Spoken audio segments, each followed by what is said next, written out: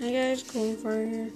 The new origami Indecisive flasher designed by Jeremy Shafer. To the model in the second book. Origami Ooh La La.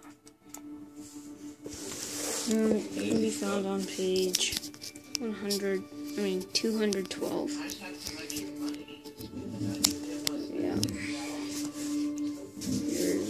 Crease pattern that I used. And I finished it.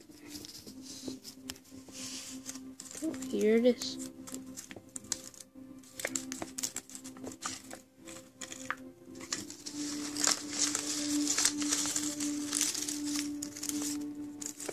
I folded this from a square sheet of printer paper.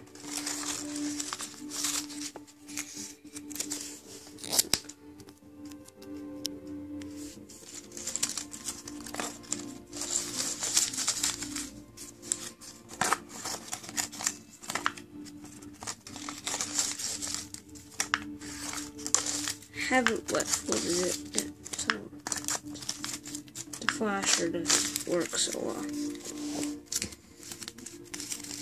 There it is, the Indecisive flasher, designed by Jeremy Shafer.